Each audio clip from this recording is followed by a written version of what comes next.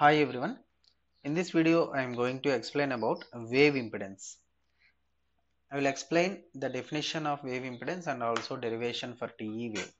Okay, so we will can calculate the wave impedance ZZ expression for TE wave and as well as TM wave. So before going into the calculation part, let us see what is the definition of wave impedance. What do you mean by wave impedance? Wave impedance is defined as wave impedance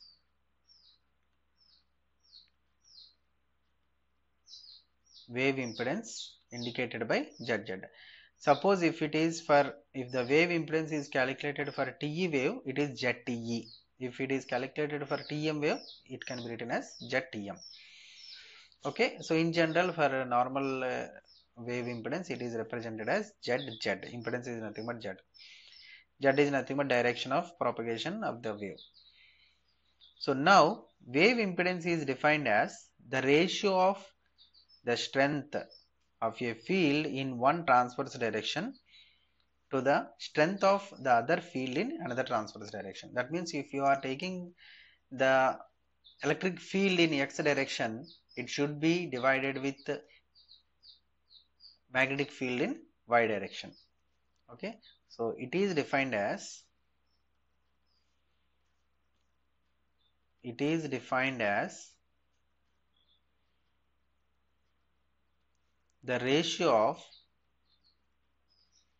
it is defined as the ratio of the strength strength of a field in one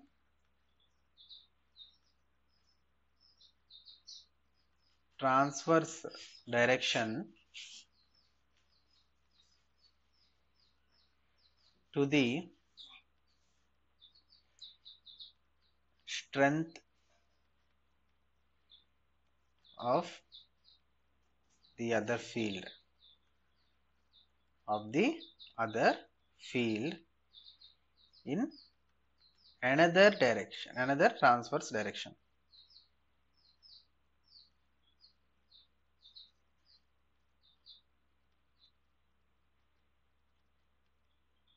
another transverse direction.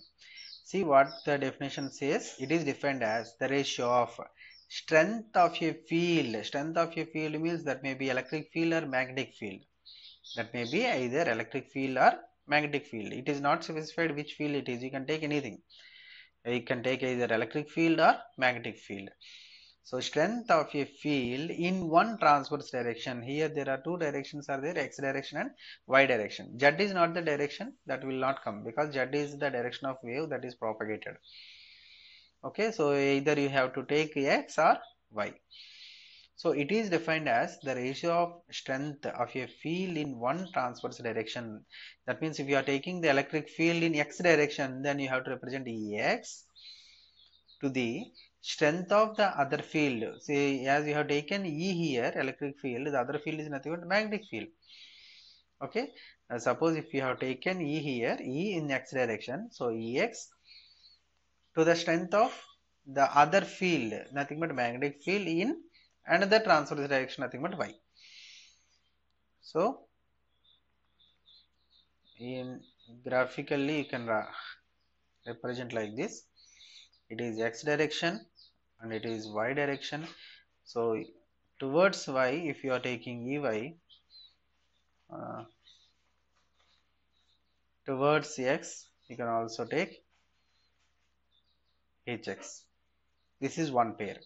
Or another combination is in x direction if you take ex y direction you have to take hy hope you understand now okay.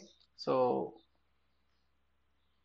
now you can write that is z z is equal to it is the ratio of ex divided by hy or you can write z z as hx divided by E y hx divided by ey. Both are valid. You can take this one or this one. Both equations are valid.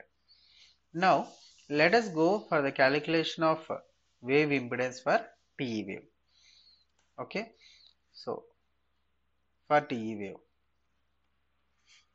For TE wave. So, what do you mean by TE wave? Transverse electric. TE wave is nothing but transverse electric.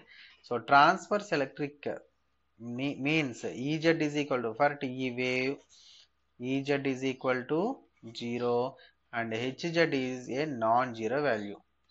Hz is a non-zero value. Okay. Now, in order to take this definition Zz is equal to Ex by Hy, we should know what is Ex and Ey. See, I will explain what is the procedure here.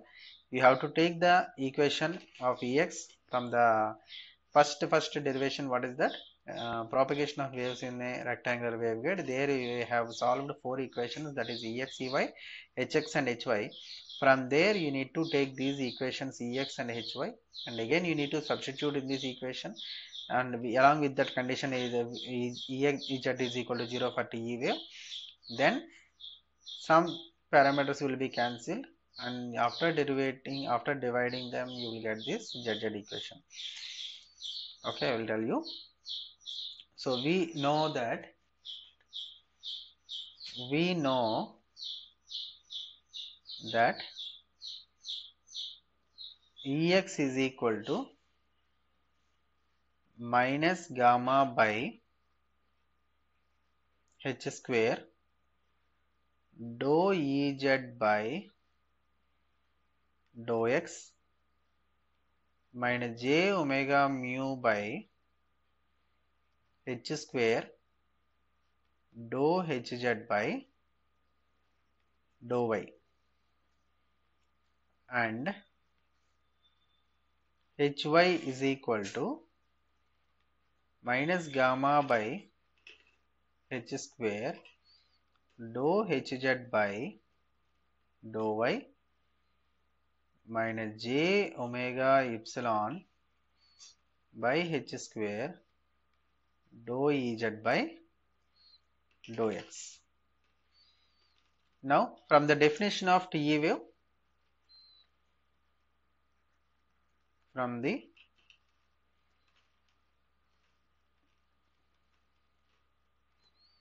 definition of TE wave Ez is equal to 0. Substitute in the above two equations then Ex is equal to minus j omega mu by h square dou hz by dou y and another one is hy is equal to only first term remains and second term gets cancelled minus gamma by h square dou hz by dou y okay so what is the definition of the ZZ, ZZ now for TE wave it becomes ZTE. I already told you it is ZTE. Okay, that means wave impedance Z for TE wave is equal to EX by HY. Substitute EX is equal to minus J omega mu by H square into dou HZ by dou y divided by minus gamma by h square dou hz by dou y. Dou hz by dou y. Okay. So uh, this denominator part and dou hz by dou y dou hz by dou y cancelled h square h square cancelled minus minus cancelled so j omega mu by gamma. This is for ZTE. Okay. Now we can consider what is the gamma where gamma is propagation constant. Propagation constant. Where in which direction it is defined?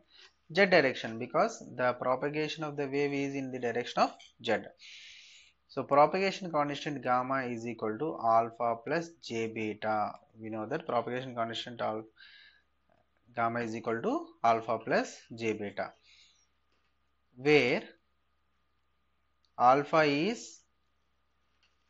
attenuation constant attenuation constant.